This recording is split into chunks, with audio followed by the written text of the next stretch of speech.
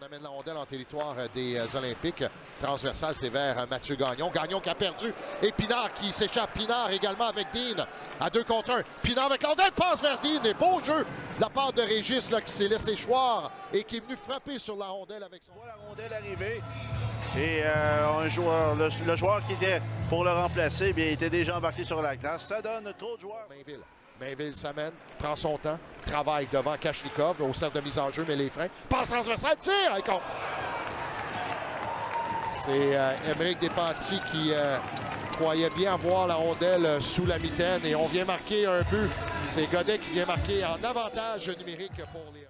On va y voir un jeu un peu classique quand même en avantage numérique. Donc la passe euh, qui part de la... Le défenseur gatinois, là. C'est finalement Bizier avec la rondelle entre chez Léoski et Bizier. Ça avance un bon tir. Retour Bizier encore une fois. Ça vient passer par-dessus le filet. Il connaît une excellente saison, Mathieu Bizier. 13 matchs avec au moins un point. Et durant cette séquence, bien, c'est un but par match avec 13 et 9 passes pour 22 points. Le sommet cette saison pour une séquence de matchs avec au moins un point. Un certain Xavier Simoneau. est, est très forte de la part Absolument. des défenseurs. Et on empêche tout simplement le, geste de continuer. Voilà, là, c'est Arsenault. Arsenault qui remet à Bizier. Tire et! Mathieu Bizier, c'est 1-1 Gatineau. Et voilà, 14e match avec au moins un point pour Mathieu territoire. Ça commence derrière euh, Maisonneuve qui met tout simplement un lobe vers euh, ses euh, deux attaquants. C'était Arsenault dans un premier temps qui prend le contrôle du disque, remet vers Bissier qui s'amène seul devant le gardien Jasmin Simon. Lui dépose cette rondelle entre les jambières. Et Oui. Un joueur euh, qui. J'ai hâte de le voir à 18. Oh, quelle mise en échec, là! C'est Michaud qui est venu donner une solide mise en échec. 13 à jouer.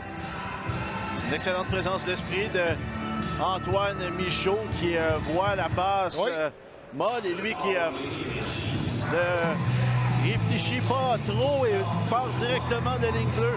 Mise en d'Armand légale. Rouen-Noranda, oui, mise en- Qui, Aussitôt, dégagement intercepté. C'est Savoie là, qui remet pour Pinard.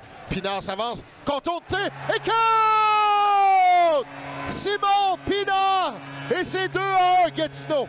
Et voilà la concrétisation des chances de marquer des Olympiques de Gatineau 8 dans une feinte de droite à gauche. Le gardien de but, Jasmin Simon.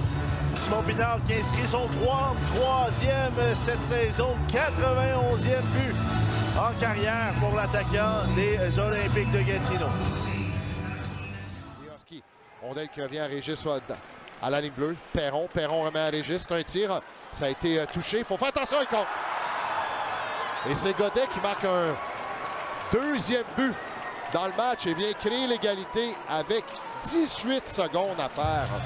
Une impression de déjà vu pour euh, les Olympiques de Gatineau qui euh, se font marquer dans la dernière minute de jeu alors qu'ils mènent.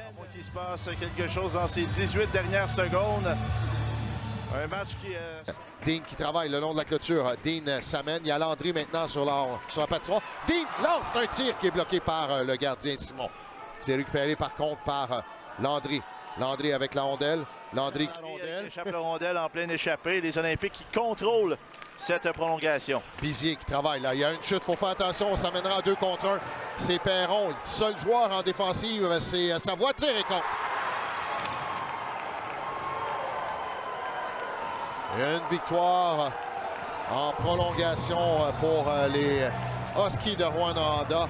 Tout ça avec 2,48 à faire à cette... euh, Un rêve euh, qu'on a déjà vu, un cauchemar peut-être aussi. Euh, journée de la marmotte, comment on peut l'appeler la journée de la marmotte, ça revient toujours. Quand on parle de simplement là euh, euh, d'être chanceux ou encore malchanceux, on l'a vu encore une fois un 2 contre 1 et c'est.